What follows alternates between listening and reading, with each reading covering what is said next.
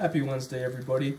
Today we're going to talk about getting prototypical operation and lights on our Kato P42s.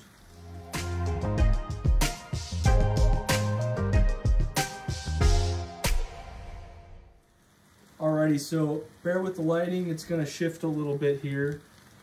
But what I want to talk about is I have recently converted my Kato P42s over to TCS decoders and some of the settings that I have changed on those decoders from factory to make them function really prototypically and it's a little bit different than my, my usual setup. So anybody who has uh, ventured onto my channel in the last six months or so, I have completely, for the most part, converted my entire DCC ready fleet to either ESU decoders or TCS decoders.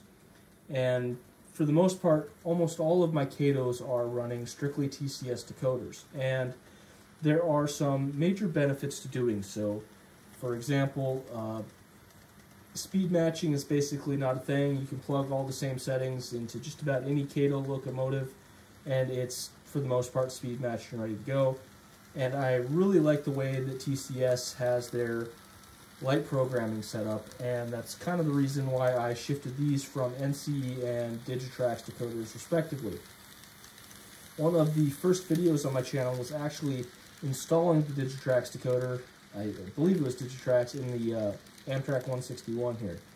And those decoders were perfectly reliable, except I did notice, especially with the NCE decoder, you had downhill runaways. So before I did the review on these, I wanted to make sure I got them swapped into TCS decoders and put a good amount of runtime on them. Now, I have slightly different standardized settings that I use for my Amtrak units, and it it's that way for a reason because road locomotives, you know, general freight locomotives definitely function differently than passenger locomotives. These things accelerate faster. They just work a little bit different than normal um, you know, freight locomotives. So to start off, we need to change some settings from factory. Uh, CV2, which is your start voltage, I found really works well at a setting of 5. And if I just give these 1 to 2 speed steps, you can see that they really creep along nice and slow. And they are relatively smooth in doing so. Uh, I have added just a hint of acceleration to these to kind of smooth out any uh, acceleration that I want to do. So a CV value of 10 for both 3 and 4 tend to work really good with these. You also don't get any funny jitters when slowing down relatively fast. So that, uh, that cleans up any back EMF issues you might run into.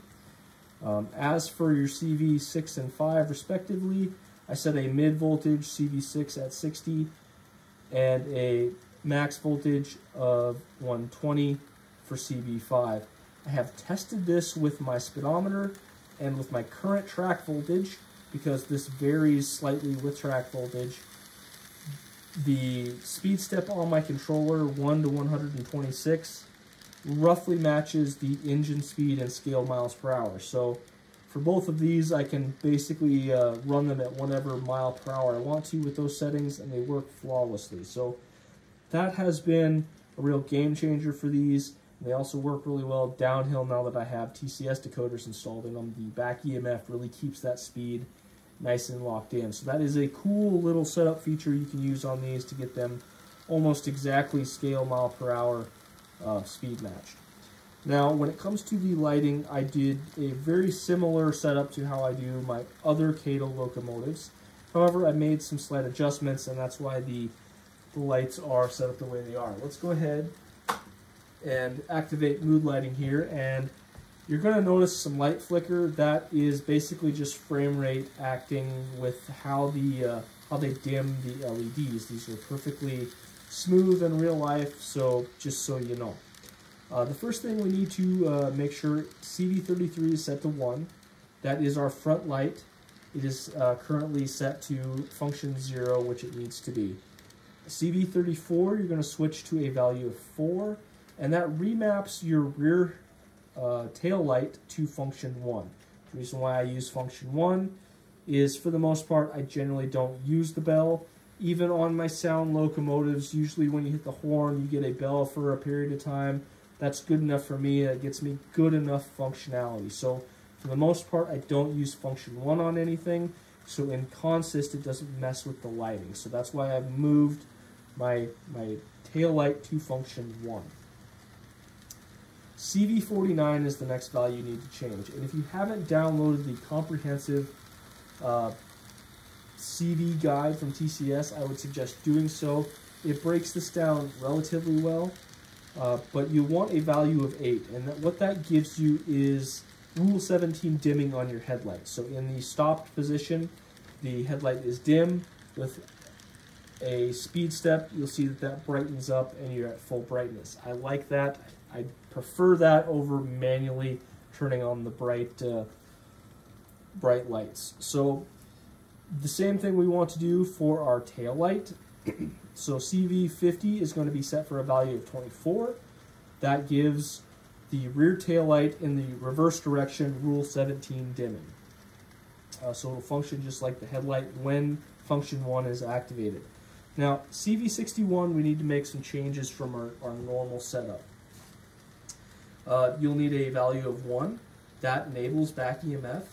A value of 16, which allows for Rule 17 dimming because that functions with your back EMF function. And you're going to need to add a value of 32 for a total of 49. 32 is constant dim in reverse. So as you can see here, 161 is in reverse, and our headlight stays dim. And should I switch the direction, 161 will be the lead locomotive, and 77 is the trailing, and the, uh, the lights stay dim. That is for running an engine at the front of the train and one of the rear in opposite directions. That uh, kind of like a point-to-point -point system.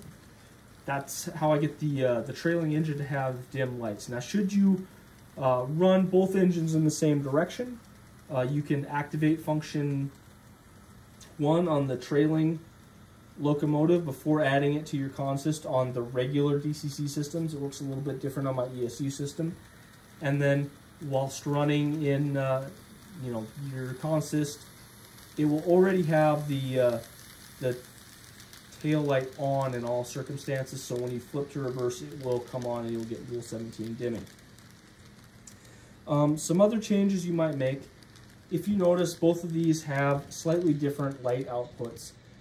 When you uh, set your constant dim 1, in the uh, comprehensive programming guide, I believe it is CV156. Let me check that quickly. Okay, scratch that. CV156 is your, your bright headlight setting.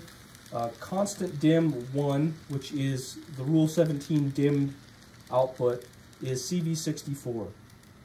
What you see here is the default value on this engine, which is, I believe, 6. It's either 5 or 6 and a CV value of 1 over here. I prefer the dimmer of the two, so uh, I will go back and set this one for 1 at some point here in the future. TCS decoders have some of the brightest LEDs um, that there are. They absolutely have the best lighting package out there when it comes to bright headlights. And for the dim function, you really need to step it down as far as you can for a good prototypical, you know, dim headlight. Now, with my full lighting system on, you can't really see it. So in my videos, I tend to run my dim lights um, in their standard. And then for, for most applications, should I not be doing videos, I like my lights set here. So that's why that is what it is. So I just wanted to go through how I get these set up. They are really good runners. I'm excited for the, uh, the review this Sunday. I've been holding this one off for quite a while. I've wanted to get TCS decoders in these for a long time now. And as you can see with the settings here, really nice slow operation and a good amount of acceleration. So I really think I have the settings locked into a, a good, good setup here. So thanks for stopping by everybody. I will see you this Friday for the rolling stock review and have a good rest of your week. Bye now.